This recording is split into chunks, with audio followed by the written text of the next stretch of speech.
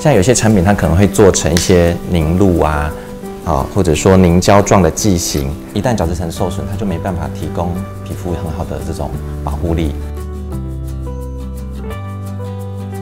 干洗手的使用，其实它的目的主要是用来，呃，降低我们手部可能会有的一些微生物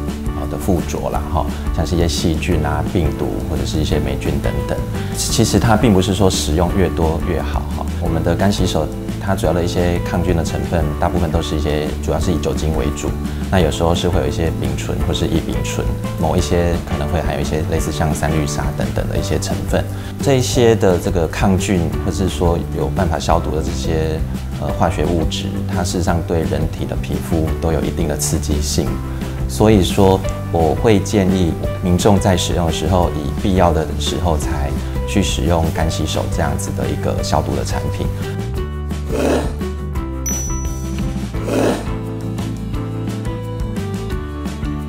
喷雾状的产品，它大概就是可以，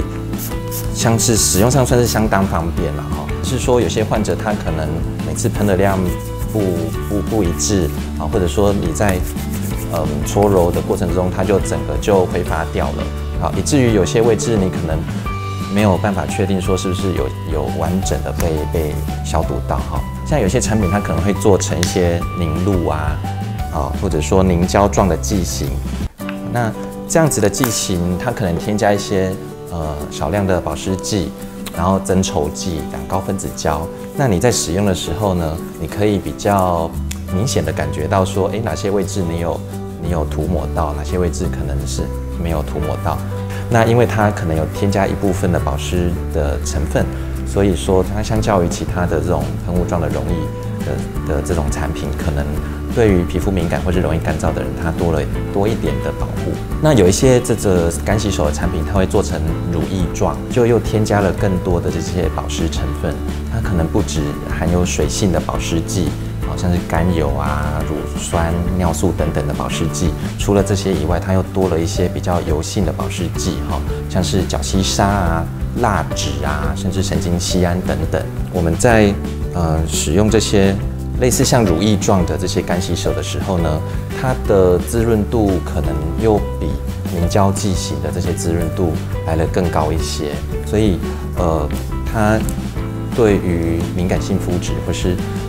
你很需要很长时间或者很频繁的去使用干洗手产品的族群患者来说，啊，或许这样子的乳液型的这种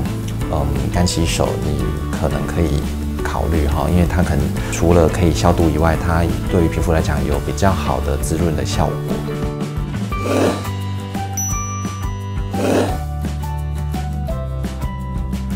这个很多的干洗手最主要的呃消毒的成分就是酒精啊，也就是乙醇。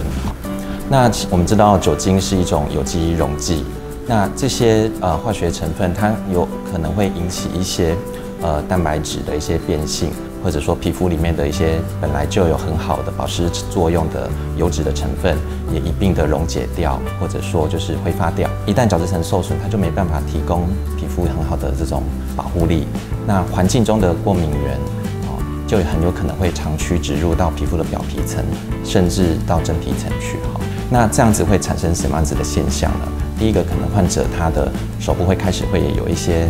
发痒的感觉，会有一些小水泡。或者说会起很多的呃红疹，这样通常都是在手的急性过敏期会出现的一些现象，我们叫急性湿疹或是急性皮肤炎的时候，有些时候患者会出现很多类似像小水泡啊，看起来就会类似像汗疱疹。那如果这样子的情形持续很长的时间，好几个礼拜，它可能会进入到慢性期。那这个时候的现象可能你会出现会是皮肤的弹性下降了，很容易会裂开。然后皮肤可能某些位置它会变厚，因为可能某些位置太痒了，你反复搔抓，它就会让皮肤出现苔藓化，也就是皮肤变得跟正常的皮肤比较起来，变得非常的厚。然后失去弹性之后，皮肤就有可能比较容易断裂、裂开，然后出现伤口。你可能还会合并其他细菌的感染，甚至严重一点，可能还会有合并一些蜂窝组织炎的风险。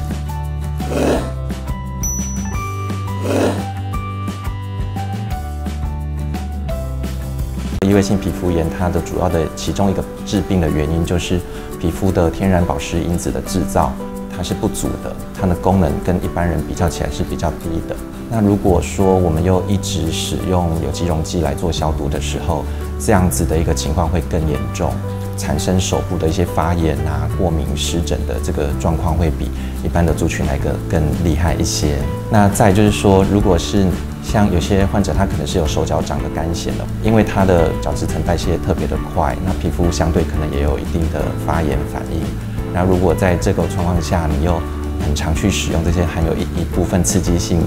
物质来做消毒的时候，这样子的病况可能会因此而更加重。对于呃过敏性体质、异位性皮肤炎患者，或者是手脚长干癣、慢性湿疹的患者，可能这样子的一个使用就要比较斟酌一些。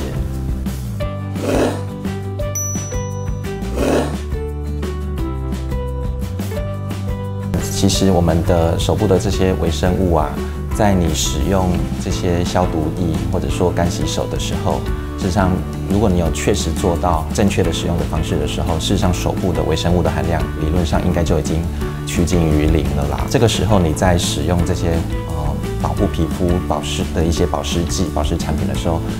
理论上不会去影响到它抗菌的能力，除非说你的保湿剂里面含有这些病毒、含有这些细菌，然后。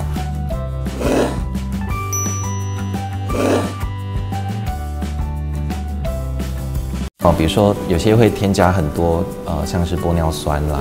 丙二醇啦，或者是有的还会添加一些像呃神经酰胺啊、甘油、尿素、乳酸等等啊，还有刚刚提您提到的芦荟啊，除了提供消毒的作用之外，又额外添加了一些保湿的效果。那另外可能会有一些抗发炎的效果哈，比如说有些产品它可能会添加一些类似像尿囊素啊。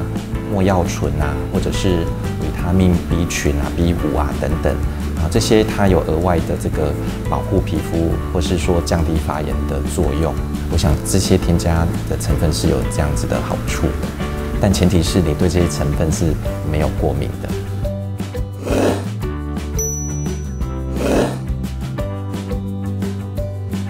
会比较建议说，可能就是在比较必要的时候。才去执行洗手，或者是使用一些消毒剂干洗手的产品哈，那不需要反复一直洗哈，因为这样子的一个状况可能会导致我们的皮肤越来越敏感，然后越洗越脆弱。必要的时候，比如说您在吃东西之前，或者说在摸我们的黏膜的地方，例如眼、口、鼻之前，这个时候才需要去做消毒跟洗手的动作。再来就是说，在消毒洗手完之后呢，建议可以大家可以擦一些呃保湿剂呀、护手霜的产品，来平衡我们角质层里面的保湿因子，以免在这些过度清洁状况之下，导致很多的水分油脂的流失。